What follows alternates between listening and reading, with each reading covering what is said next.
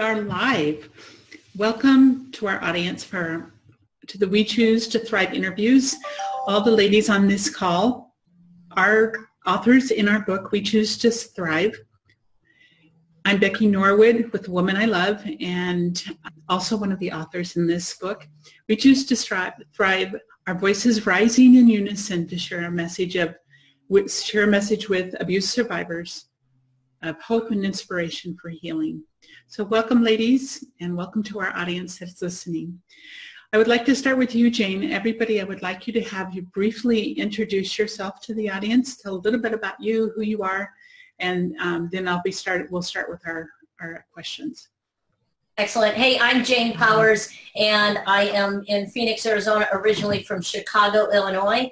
I am a speaker, coach, and an author, and a survivor. So when you hear one in three, I am that one. When you count that room, I am one of those survivors that have transformed my life into being a survivor.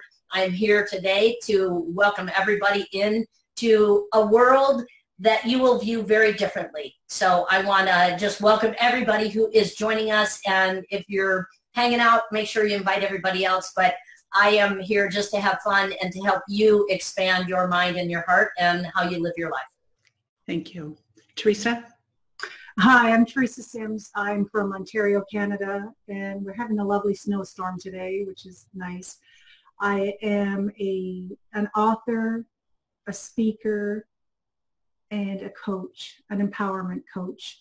I have been one of those one of three as well from very young, from toddler um, suffering psychological, physical, sexual abuse from family members, doctor, parents. It's just ridiculous the amount of abuse that goes on, but I'm here to tell the story, here to change how things are seen and to put an end to this completely.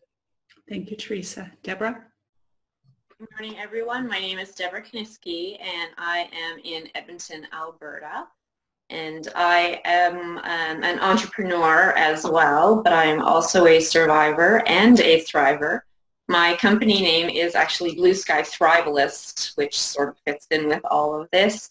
And so I'm an author and inspirational speaker and um, just help people to strengthen the relationships with themselves so that they can come forward and um, make themselves live a better life instead of dealing with the abuse. Thank you, Deborah. Tessa. Hi guys, my name is Tessa Milne. I'm an inspirational speaker and a survivor of abuse. I spread awareness on the different forms of abuse, the cycle of abuse, and share resources. I work with police departments, victim advocates, teachers, and therapists. Um, I try to spread as much awareness as I possibly can um, I also work with children as well, uh, an organization here in Arizona that works with children from abuse. So I just feel like it's something that needs to be done. It needs to be said. People need to use their voices and realize that they have a voice and their voice matters. So that's why I do this. Thank you, Tessa. Karen? Hi. Um, I'm not a motiv- motivational speaker. and I'm not a writer. Uh, I'm Karen Mason. Um, I live in a bedroom community off of Victoria on Vancouver Island, which is beautiful. We are having a bit of snow today, which is unusual. And I am a mother and I am a wife and I'm an entrepreneur. I have a financial planning practice here and uh, I love horses, I love dogs, and I'm just here to share my story if it can help anybody who's, who's, who's experienced domestic or, or um, physical or emotional and sexual abuse. Thank you, Karen, very much. And Souraya.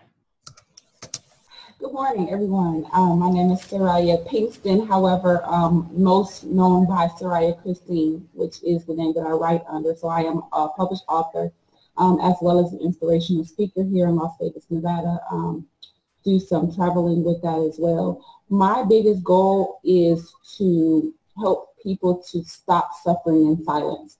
Um, one of the things that people have unfortunately been trained with is sweeping things under the rug. And so I'm here to dispel that and to, to bust that wide open to be able to give people a voice um, and be able to speak out about the so that we can end the cycle. Um, I run a nonprofit organization called Watch here in Las Vegas, Nevada, which stands for Why Are the Children Hurting? And we focus on sexual assault and domestic violence, of which I am both, uh, have previously been a victim of since early childhood.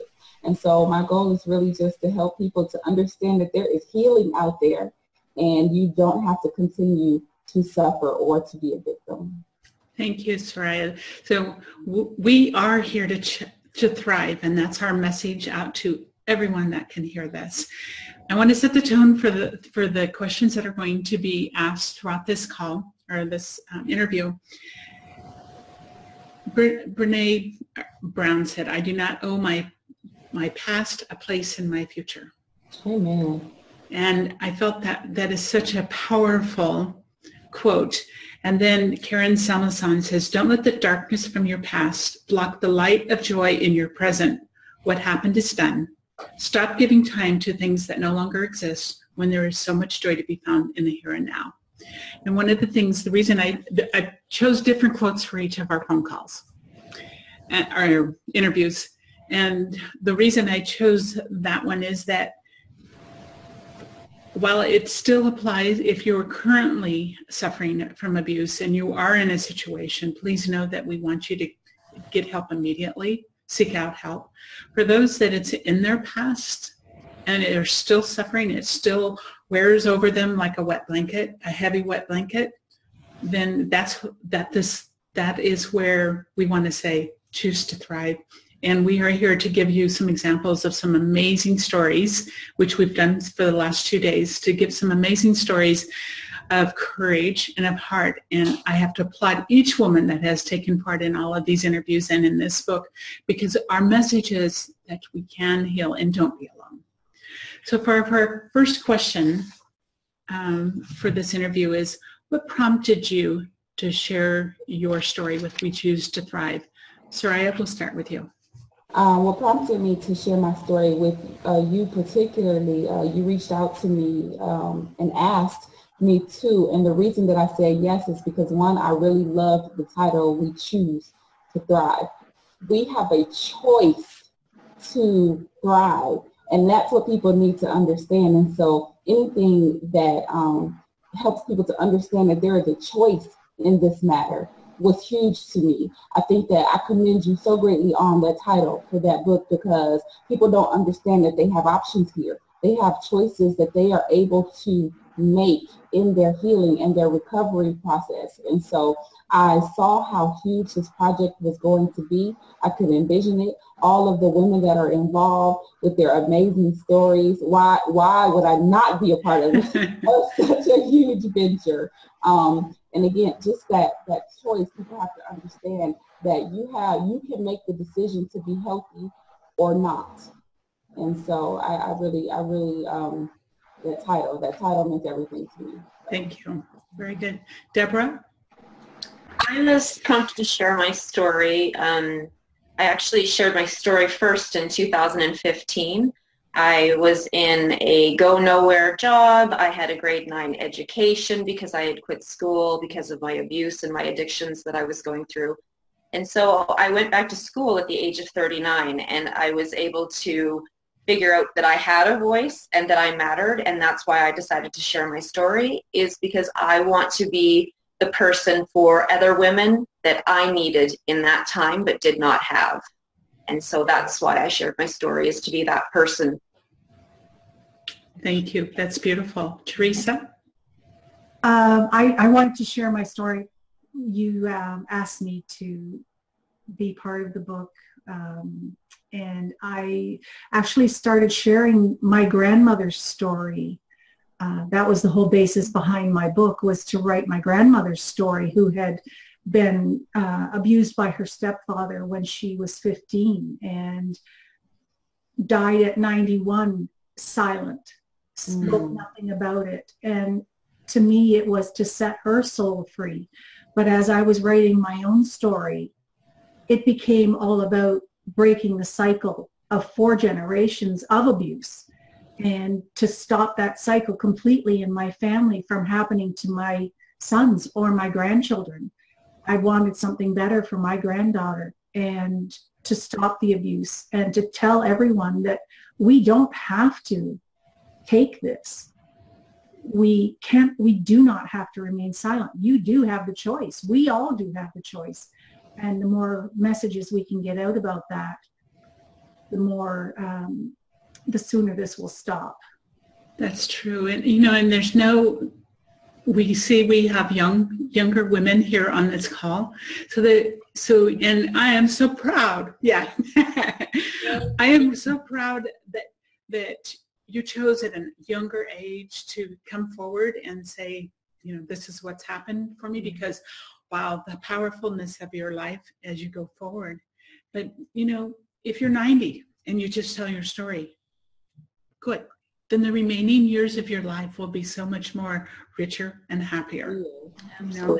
And so it doesn't matter what age you are, where you are. It, if you're ready, if you say this is enough, let's stand up and let's just um, let's change this world.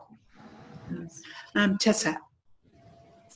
Well, I came out with my story. I was, gosh, I think it was 31, and now I'm 34. But I decided that I wanted to step out, use my voice, because I didn't have anyone's success story to go off of when I was a victim of abuse. And I went through a lot and almost died. And when I started to learn all of the different forms of abuse and the cycle and also the mindset of a victim and where the mindset of an abuser stems from, I thought, wow, like this is really intense. Mm-hmm. And this is something that people need to hear and they need to know and they need to learn the signs. Because if you don't know, then how can you help? how will you be able to help yourself or help someone else? So for me, it was knowing that if if I had the success stories to go off of, if I was told that there's a better life after abuse, or if I was told that what I was going through was called abuse, I don't think I would have um, been so close to death. Mm-hmm. I'm lucky to be able to be here today and say I am a survivor, but unfortunately there are so many other people that are not able to say that because they lost their life by the hands of their abuser. So for me, it is to spread awareness, sharing my survival story to inspire others, and to motivate them to learn more and to help themselves or to help others. So having that information for myself, I'm not just going to keep it to myself. That's selfish. To me, that's just selfish. So I figured I'm going to share this. I'm going to share this to everyone as much as I possibly can because abuse is more common than people realize. It comes in so many different forms. And there's a cycle. And I ended the cycle of abuse because of the knowledge. And I want other people to be able to do the same thing. So it's basically, it's life or death. It is. To tell you the truth, it's life or death. And that's why I am now stepping out. And just like Jane had said before, like,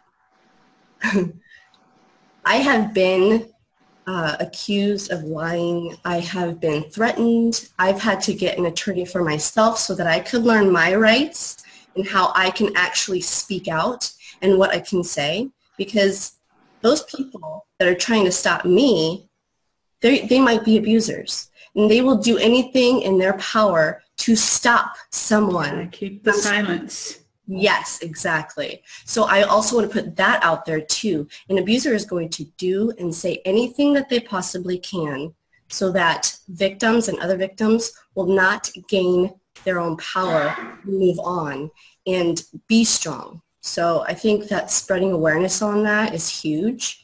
And it might take a while for people to understand it, but I am ready to plant that seed over and over and over again because one day it will click.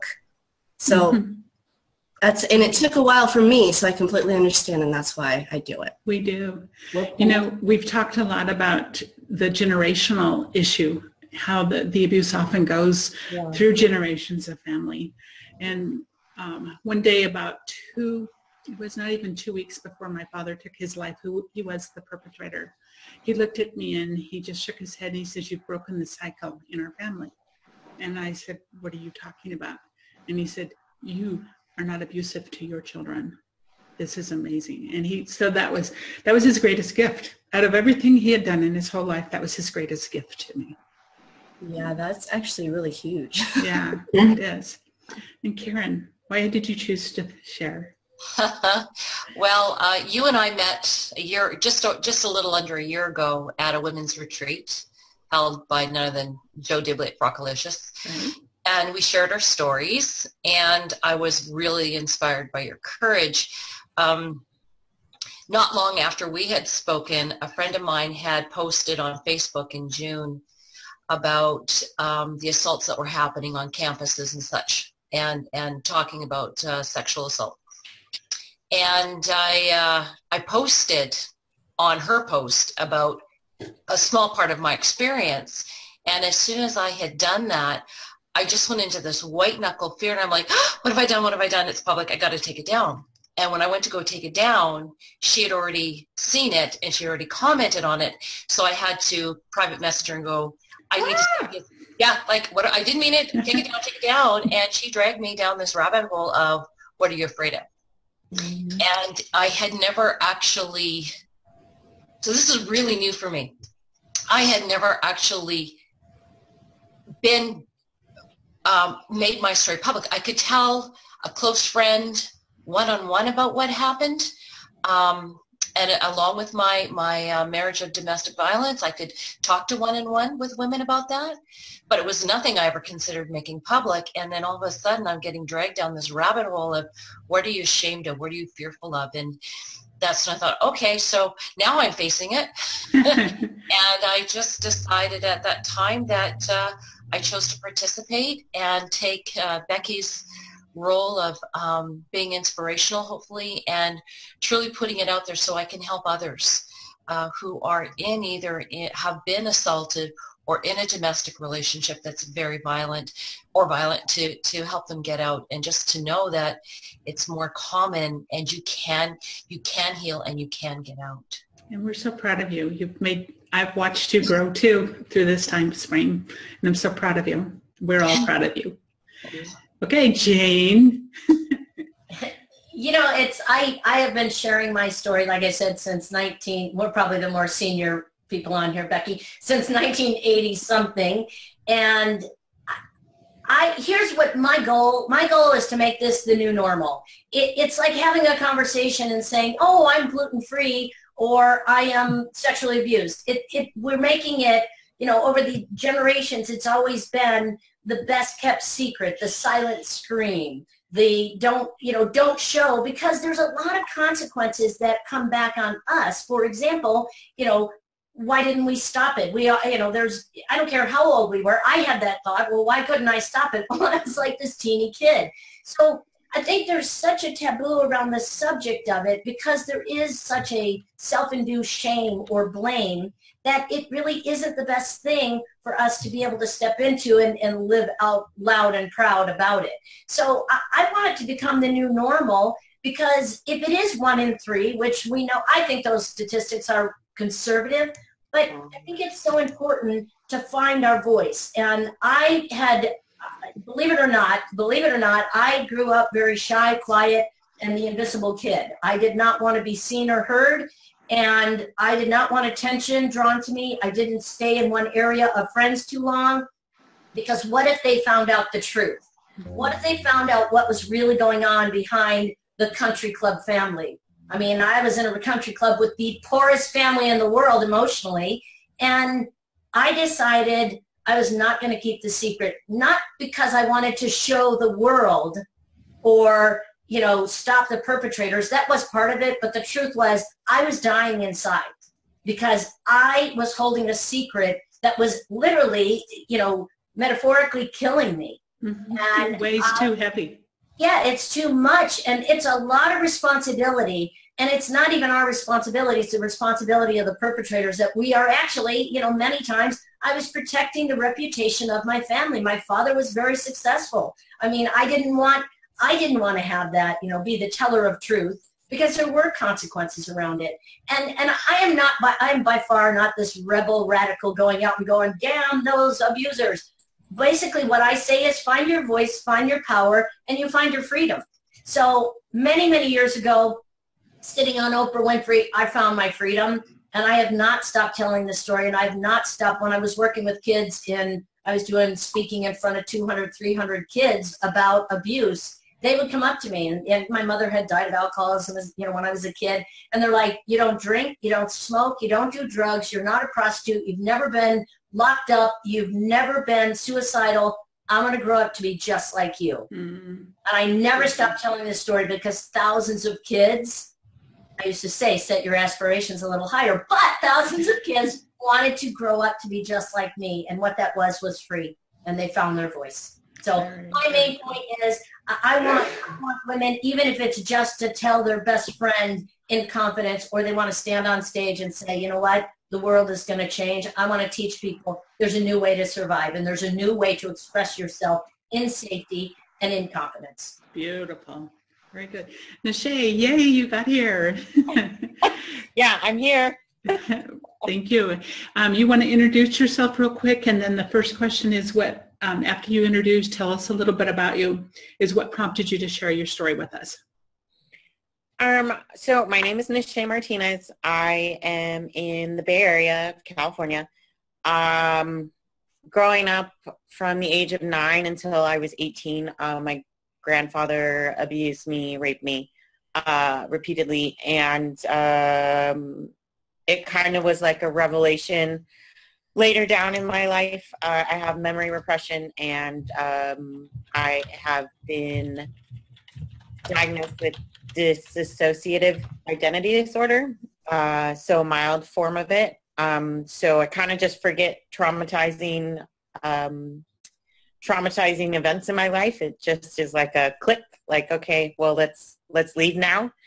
Um, and uh, the reason why I decided to share my story is actually going through the process of um, finally coming to terms with it and healing myself and taking him to court many, many, many, many years later and having to go through that whole court process. The court process is so difficult and re-traumatizing and um, it's kind of just showing support and showing other women and men that they can get through it and kind of give a voice of reason.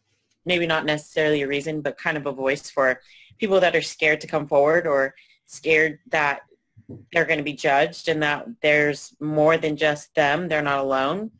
Um, and that's kind of why i decided to share my story very cool. I mean, you, yours was with your your grandfather, and after you went through the whole court thing, you um, he only had he was given what three years, and he only had to serve eighteen months.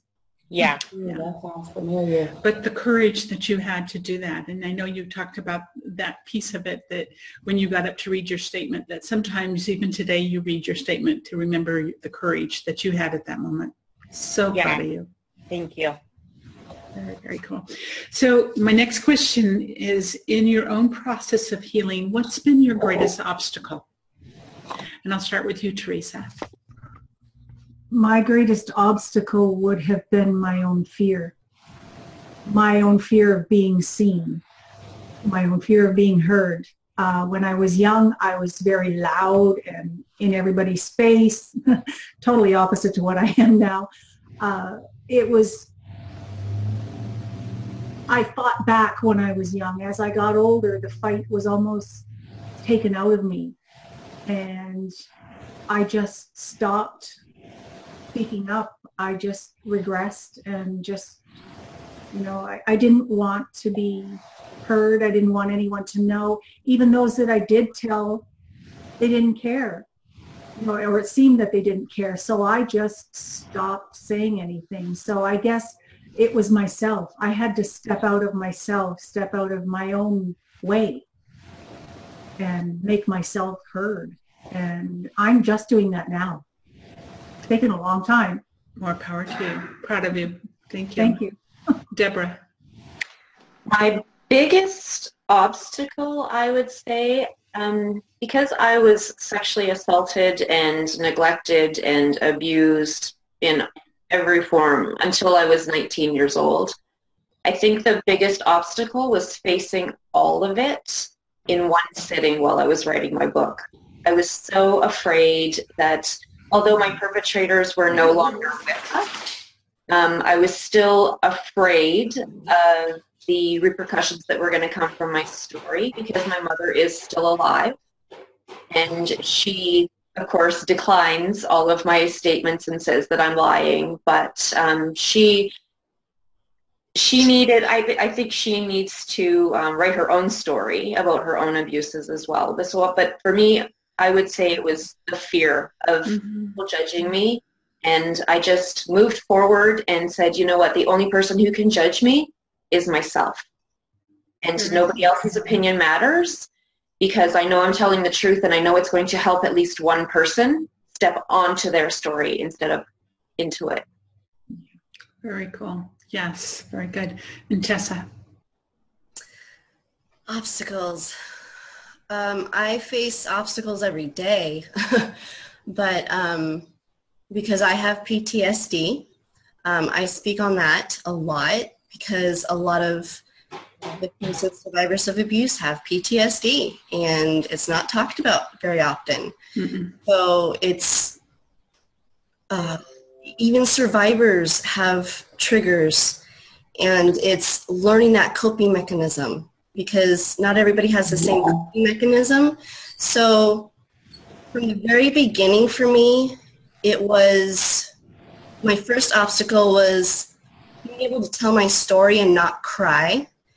Because when I when I first started, I would cry because I was still not completely sure of myself and which is pretty normal, mm-hmm. but or common. But um, it's understanding that I'm okay now, and I'm not gonna let anyone ever touch me again.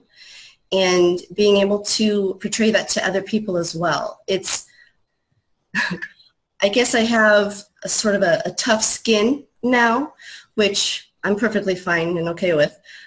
And I get emotional when I hear other people's stories. So I'd say that's one of the biggest obstacles right now for me. But I also understand that they've come so far too. And they're alive and they're good. And they're still learning themselves as well. Everybody, it's a process. The, the healing process doesn't happen overnight. And I don't think I will ever be completely healed because of the triggers and the memories, the emotions that I feel for other people as well. Now, I don't cry when I tell my story because I've, I've come to a place where I've accepted that I'm okay now. It's in the past. The past is in the past. I'm not reliving it anymore. It's me just sharing what I went through, my experiences to help other people. So I would say every day is, is still, there's always going to be an obstacle and I'm always learning from these obstacles. So I appreciate your sharing. And yes, there are triggers and it's becoming, when you realize there are triggers, it's becoming aware of them and putting steps in place to, to kind of how do I deal with that trigger and develop things that you can do that around that that will help you to not go sink maybe as deep as you did the time before. Right. You know, to to if you have to find what it is. If it's breaking out in a fun song, doing some kind of happy thing, going for a walk, do something, read a good book, um, remove yourself from where you are in that thing. There are things you can do to start making those, even the trigger points, better.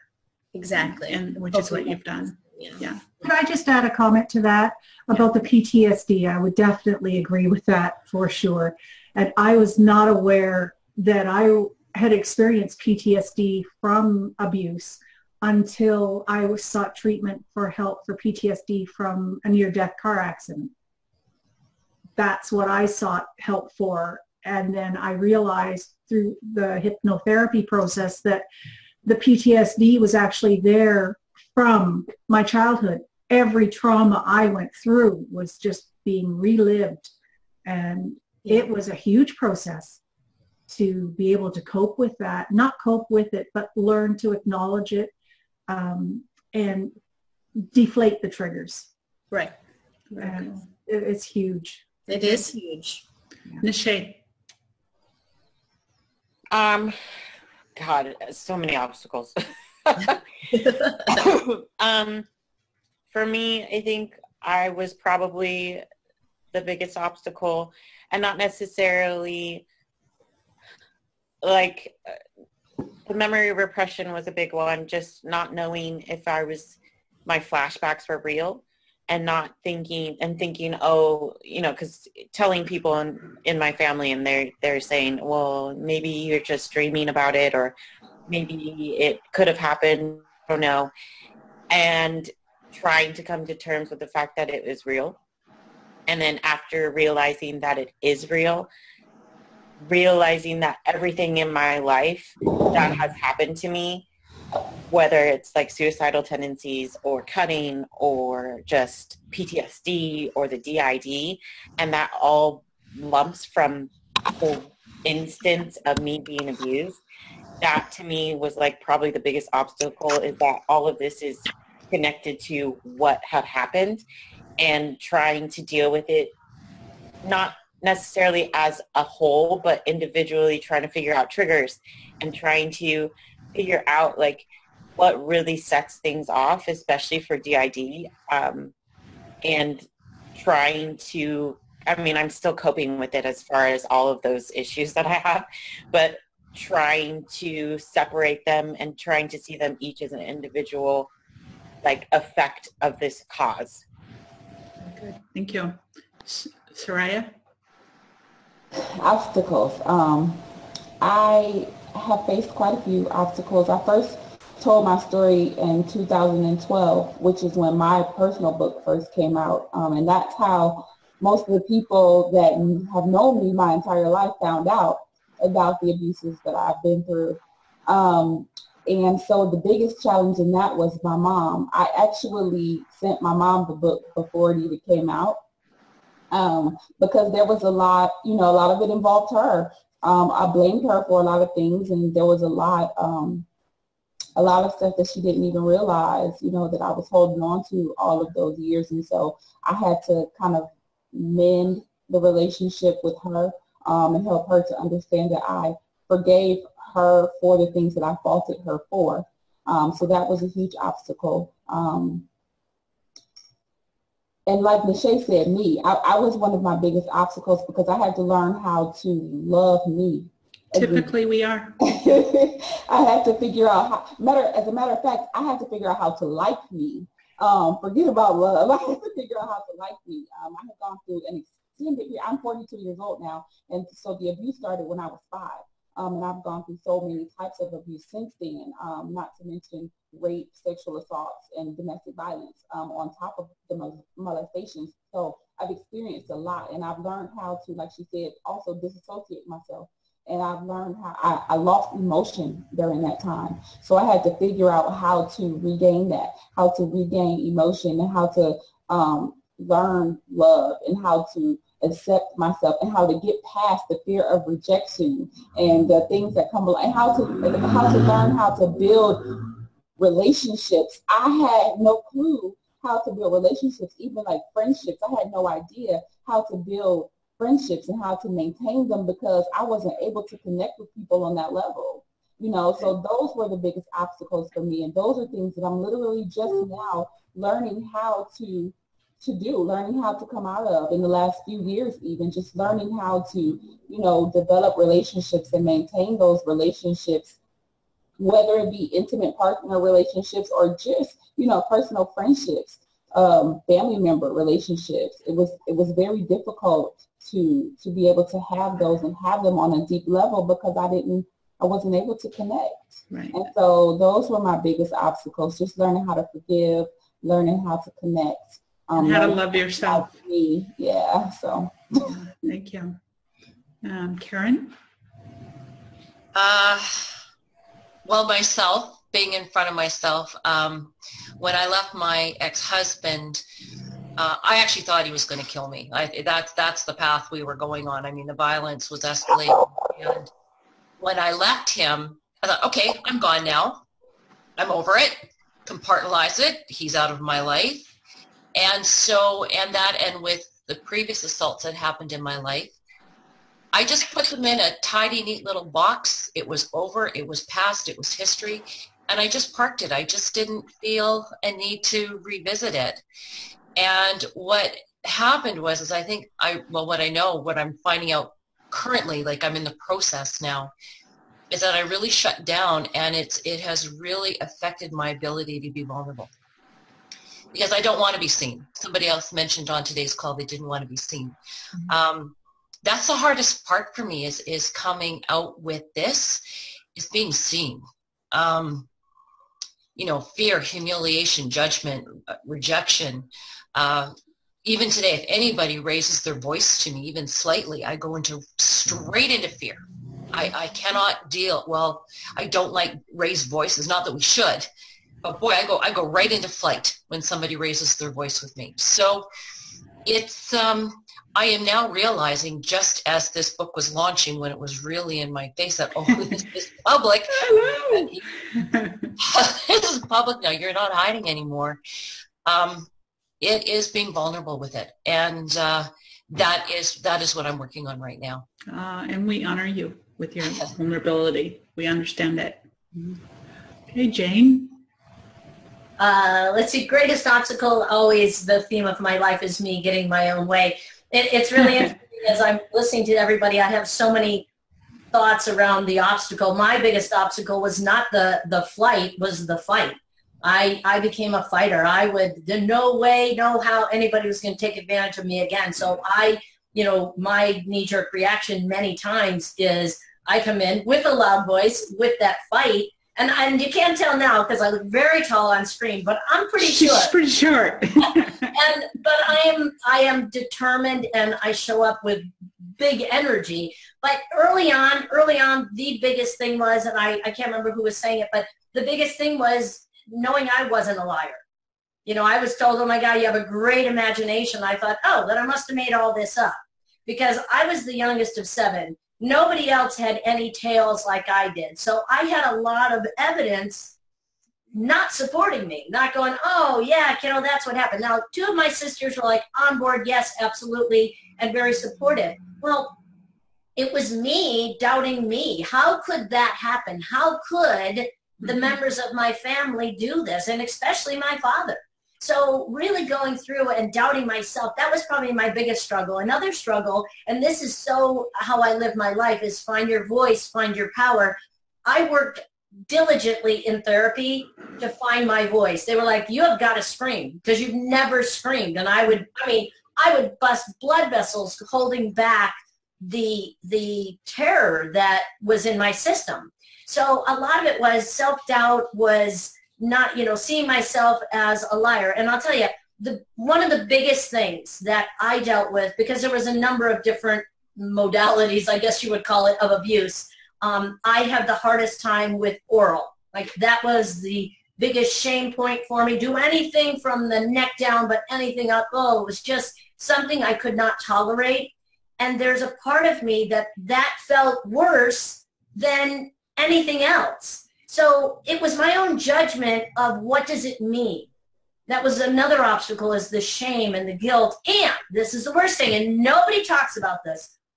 There was a part of me, and I know, and I've worked with many survivors counseling and doing interventions. There is a part of a survivor or a victim that it, it sounds crazy, but there's a part of us that actually enjoys it. Now we're not like, oh, this is awesome. I'll tell you, when my father came to pick me, I was special. Uh, and I, I was abused from zero on up through high school.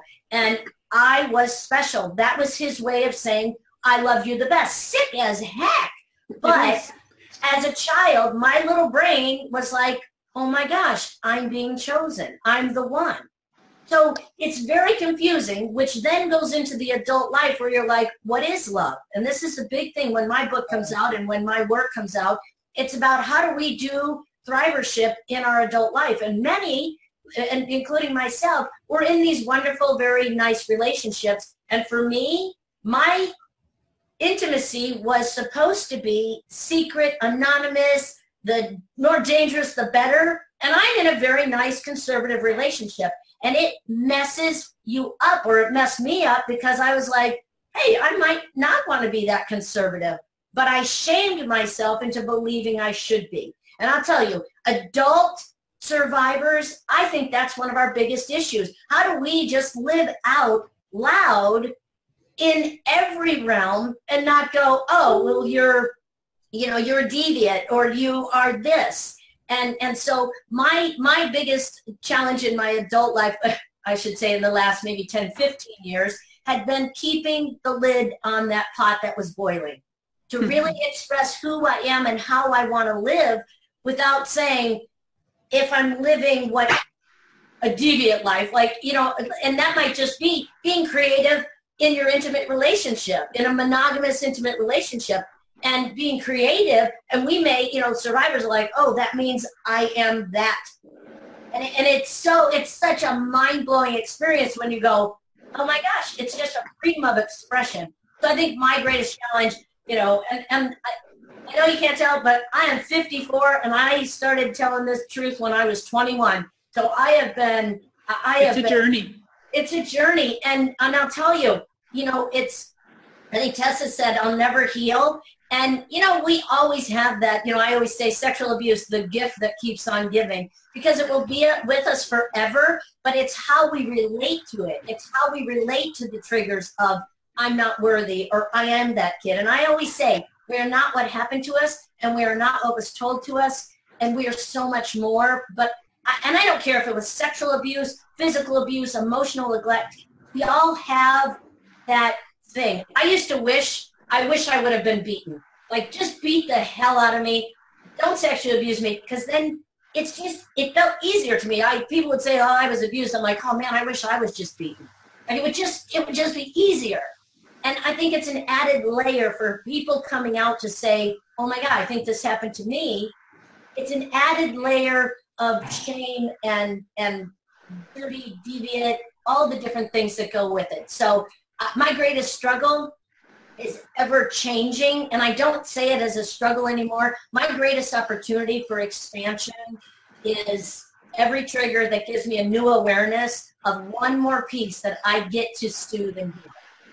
I think that um, you brought up one point that is really, really interesting and what was one of my aha moments was um, we, you and I were having a conversation, Karen, and when we met and it was kind of we were back and forth sharing and what I did not understand and what grieved me so much and what was so painful is why did I enjoy the sexual part of it, the sexual molestation, but it was way better for me than the beatings were and the other things. And it was the only time that was treated with some kind of kindness. And it, it just used to just hurt so deeply because why would I want, why would I say, how could I even verbalize that?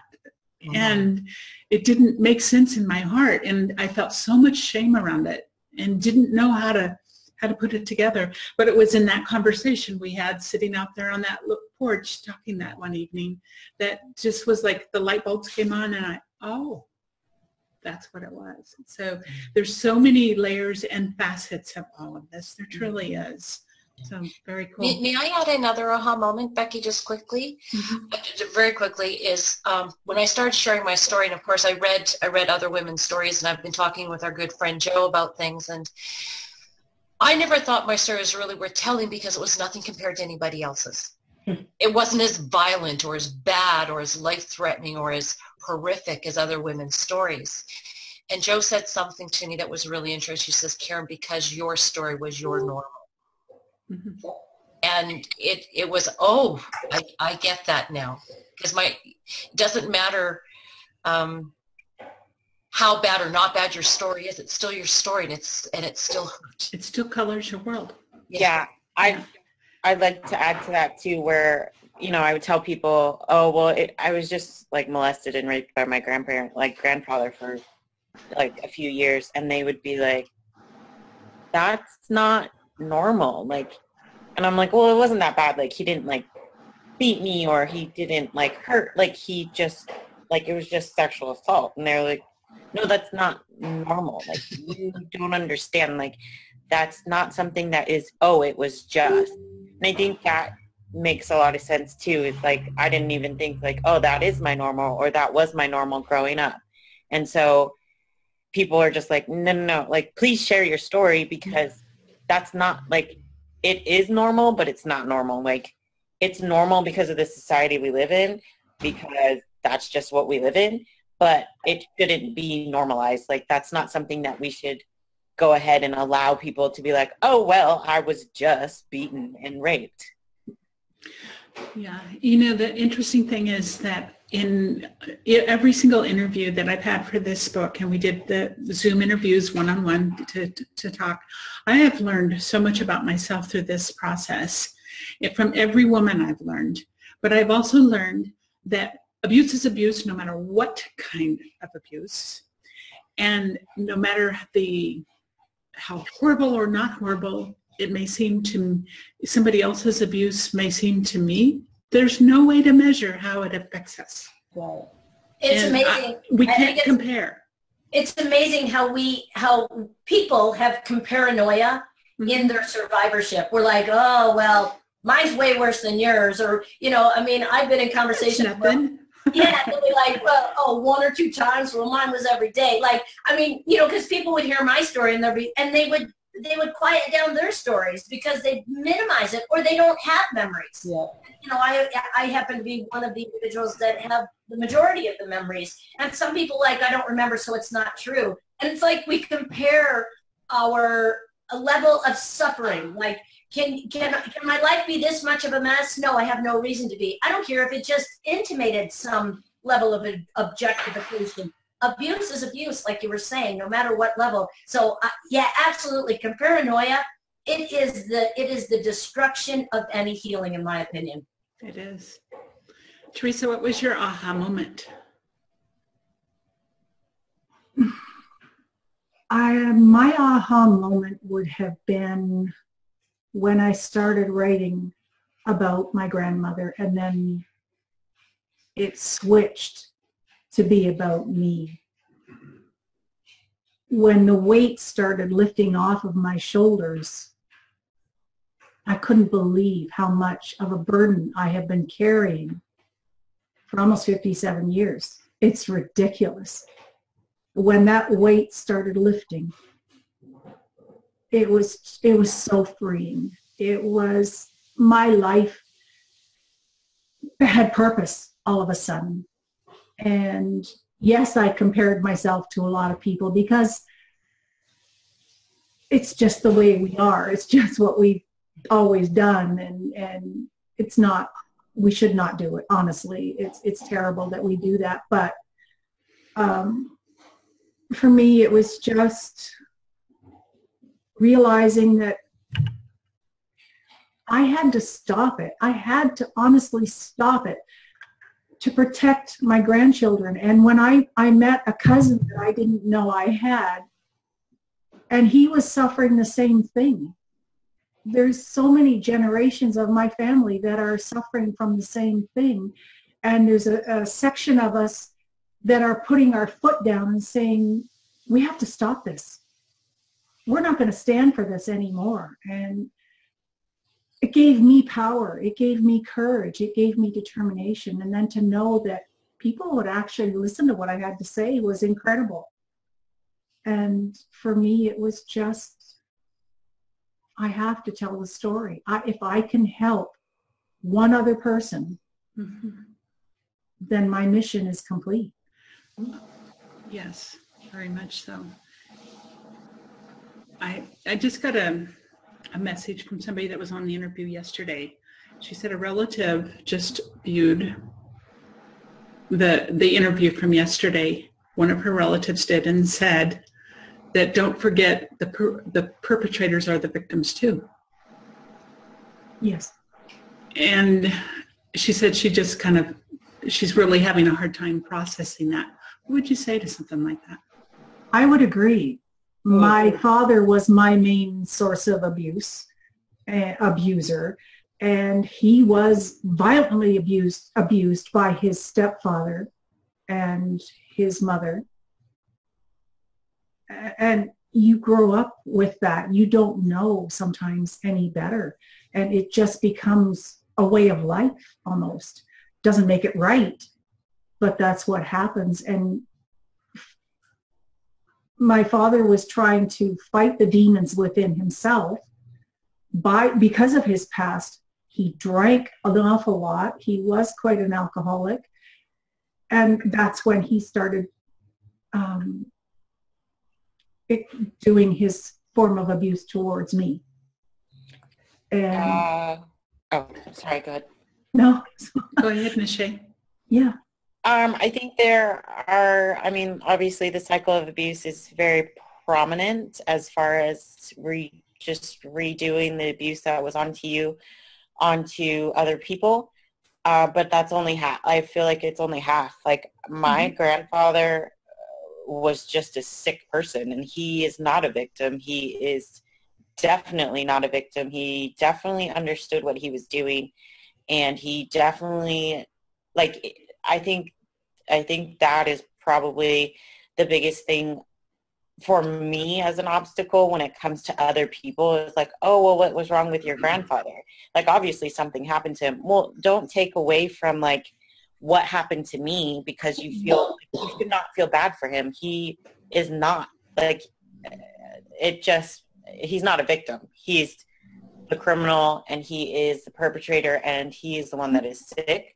And I think people who have not experienced any kind of abuse in their life like it's very hard for them to understand why somebody would do that whether it was a cycle or if it's just that that's something that makes them happy and uh, putting them in the victim category makes it as an excuse like oh well they treated you like that because somebody else treated them like that Mhm. and in reality, if they were in that system as far as the abuse, they should understand how it makes them feel. Maybe not necessarily to a complete understanding like we do because we all had epiphanies and had therapy probably, or at least I did. I had a lot, I have a lot of therapy, but putting them in that same category kind of puts them next to me and that makes me mad. Souraya, you wanted to say something? Oh goodness, yes. um, actually, I want to say two things because We can't, you need to turn up your volume Can you hear me? Can you hear me now? barely. Uh, let me see. Okay, while she's fixing that, um, How's does anybody else want to address that? Yeah, I would love to address that because I, I think I think if you just I mean I know this sounds trite, but we're all victims to something, whether it's some jerk on the road or some jerk in our family. I, I think like I, I had confronted my father many many years ago and went through a very long process with him, you know, till he died about I don't know a year and a half ago. Um, I think they're victims of the need for control. They're victims of the need to to satisfy their desire to control, whether it's sexually, um, through power, through whatever. But I think it's all. I think it's all about, and you could say victim, or they could just be sick. It doesn't matter. I think. I I think um, you know, as are they innocent bystanders of it? Did they have the choice? Absolutely. I, I believe they had the choice, but they were so drawn. My father, I look at my father and my other perpetrators were so drawn for the need for control. And, and our innocence was so easy for them to scoop up and control. And I used to work in the prison system, and I had to sit across from perpetrators and work with them. And I tell you, the mindset, their self-esteem is so incredibly low that the innocence of a kid lifts them up. So I think they're a victim to their own self-loathing, self-hatred, and self-concept. And you know, does it put them in the same category? I think it's I think it's a different category. You know, did we have the choice? Absolutely not. Could we fight? No. I mean, I tried to fight one time, and boy, I woke up real quick. You don't do that. so you know, and and I look at my father. Was my father abused by his dad? He said he was, and you know, my grandfather abused me. Could that be true? Yeah, but he was a very successful man that was out in the community. We grew up in the country club. Is there, you know, can people look at him and go, oh, he's a victim? No, but inside, I'll tell you, he was held prisoner and hostage by his own illness. Okay, can you guys hear me now? Yeah. You're able to hear me? Okay. Um, Jane, thank you. You actually touched on a lot of what I was going to say. Um, already, already. I found you. I found you. I was just going to say it kind of, and I kind of feel like, um, I'm sorry, I don't want to mess her name up again. Um, but it, it kind of makes me angry when people call the predator the victim. And granted, I understand uh, generational curses, I understand cycles, I understand all of that very well. However, I also understand choice. And people make the decisions that they want to make. It's really just that simple because you can opt not to touch me as a five-year-old child. You can make that decision. And so the, the fact that these perpetrators made the decision to become perpetrators does not put them in victim category. Victim category is that 5, 7, 10, 11 year old child that didn't have a choice in the matter. And so it makes me very upset when people try to make excuses for perpetrators. And that's a classic victim mentality. I look at my daughter, for instance, my daughter's 19 now, and she went recently through a domestic violence situation that I had to help her out of. And you know, one of the things that she kept saying throughout that is, is you know, that she feels bad, and he spent some time in prison for stalking her. And she's like, oh, I kind of feel bad that he had to spend that much time in jail. That doesn't even make sense to me. it doesn't make sense to feel, I don't feel bad at all. What I feel bad about is the person who molested me only got 18 months in prison. That's what I feel bad about because he molested me for four years. So I feel bad that you only spent 18 months behind bars, but you're definitely not a victim. And so it makes me quite angry um, when people try to, to to put them in the same category. If they were victims in their childhood, uh, you know, it's sad. It's sad that they were victims in their childhood, eh, but that doesn't cause you because I've never abused any of my kids. Right. so we have decisions that we make. So we need to, to move this along and I appreciate all of your comments and it, it's, it's one of those that go deeply emotional and we honor each one for their own specific feelings. But um, what words of wisdom I'm going to start with you, Teresa. What words of wisdom would you share with somebody that's just choosing to go this path of, I, I, it's time for me to heal? I would tell them to uh, be gentle with themselves. Take the time. Be slow. Find the right help find the, the help that actually, the person that can help you, make sure that they resonate with you, that they are there to help you. And just learn to heal your soul first. Everything else can come later. But that's that's what's helped me is to heal myself first. Be be gentle, be strong, be courageous, but be loving. And love yourself most of all. Absolutely. Yeah. Deborah. My words of wisdom would be do it and to do it fearlessly because you're not alone. You are surrounded. You just don't know it yet. And once you mm-hmm. reveal your story, you will understand how more, many people are surrounding you and loving you and nurturing you through your situation. So stand up, do it fearlessly. It's amazing, isn't it? Yes. Yeah. Uh, Tessa? I always tell people that abuse is preventable and change is possible with the proper support, guidance, inspiration, and awareness because I feel like that's how I've learned and how common abuse really is. Almost everyone you know has gone through some form of abuse and coming together and sharing any kind of knowledge that you have on the info with everybody. Because if you don't particularly know someone that has gone through some kind of abuse, that person might. So just spread awareness as much as you possibly can and educate yourself. Um, there are tons of resources that are out there that people don't even know about. Right. um, for different forms of abuse. And because not everybody has gone through the same form of abuse, everyone has their own situations that they've gone through. So there are so many organizations that have been formed because of the different forms of abuse that are out there. And also, um, almost every police department has a victim advocate. So contact your local police department and ask for a victim advocate, whether you're a victim or you know someone who is, and ed- continue to educate yourself. Learn as much as you possibly can and just share it and spread it like wildfire. Thank That's you. what I have to say. Perfect. Nishea?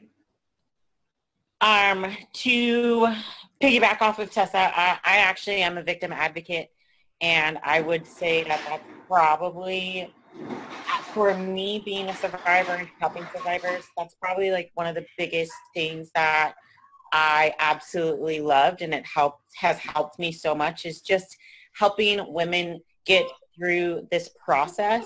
And as a victim witness or a victim advocate you're you're the first point of contact normally after the assault and so just being able to sit there with somebody because I didn't have anybody to sit there with me Right. and I didn't know what was going on. And so being able to sit there with somebody and kind of like be the person, be the support that I wanted in my life is like so powerful, but also at the same time, like um, when it comes to, I just had to say that because victim advocates are very far and few in between when it comes to just people wanting to sit in the hospital and wa- like watch a rape kit being done. That's not very fun, but it makes a big impact. Um, but I would have to say actually that uh, reach out. There is so much support and find somebody that you trust to talk to. And it doesn't have to be the police. It doesn't have to be hospital. It doesn't have to be anybody official. Just find somebody that you can that can support you and get you through it all. Very cool. Thank you. Souraya? I have actually three uh, three small pieces of wisdom that I would like to leave. Um, one um, is two of them actually is what helped me kind of my aha moments as we were talking about before. We can't hear you again. Oh, can you hear me now? No. Just speak up. Okay. It says it's working. Yes. Go ahead and speak up the best you can. Okay, so one is not to wallow in unforgiveness. Um, you have to learn how to forgive. One of the things that I first heard when I first started on this journey was that un- unforgiveness is like drinking poison and expecting the other person to die. That stuck with me um, through this journey, and um, I wanted to leave that with you. Uh, the other thing is stop suffering in silence. Talk to someone, like Michelle was just saying. Find someone that you can trust to talk to and get it out of you, even if you just have to start by writing it down on paper. Um, do that just to be able to get it out because you don't want to continue to harbor hurt. Um, and then the last thing is uh, I heard very clearly um, a, a still small voice speaking to me early on saying, this isn't about you.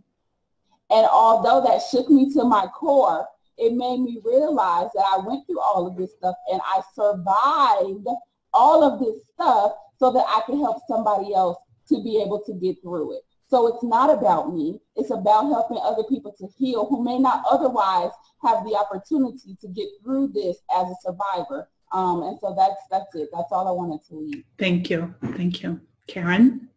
Yes, I would say don't believe them. Don't believe like the woman in my office that told me I deserved the assault from my manager. Like my husband who told, yeah, my husband who told me I was worthless every day, who beat me and made me feel like the worst human being that could have possibly lived and how he put me down, how he denied what he did. I, I don't believe all the horrible things and the names that they call you. Don't buy into it. Don't believe them. Surround yourself, surround yourself in people that, that bring you up, that hold you up, that believe you and support you and also kick you in your, in your butt when you start to wallow. It's really important that they don't buy your BS. They're there for you to lift you up and help you and support you.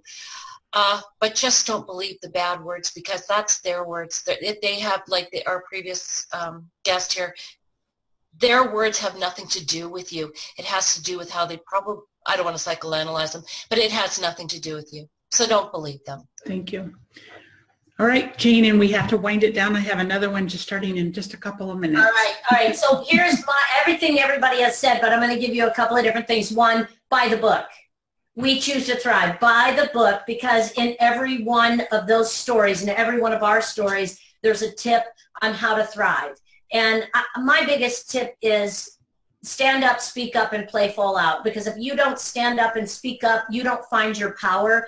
And live in your shame, live in your blame. Don't stifle the process, but also feel sad, feel mad, feel glad, feel all the feelings that are associated with survivorship and decide to give a kind glance to the details. And I've got a lot of details and I spent therapy, I'd go into therapy, I'd come out sweating, crying, and I'd be like, that was a good one. Because man, I rewounded and felt the pain. And I'll tell you, it took a lot of years for me to realize I don't need to rewound. I don't need to stay in that. I need to give it a kind glance, give it a voice, And that, and stand up and start to speak out and make this our new normal. Make it normal that it's, oh, I'm gluten free and. And who cares what people think and what they say? It's our own shame that gets triggered. So stand in confidence, stand in clarity, and stand in freedom of who you are, what you've lived through. And again, I, you know, I always say, drop the F-bomb, forgiveness. It's the worst word for a survivor when people said you need to forgive. I'm like, I'll give you the other F word, not forgiveness either. And I'll tell you, it is the, it is not, doesn't have to be done right away, but at some point you got to say, well, that sucked and. So you know what? Abuse sucks. It's inconvenient and you can thrive. Buy the book. I just have to say that. love yourself, love yourself. And on behalf of all of you here, thank you, thank you so much. I'm sorry I have to shut, um, shut this off, but thank you for being here. And on behalf of our audience, choose to thrive. There. Jackie. Thank you.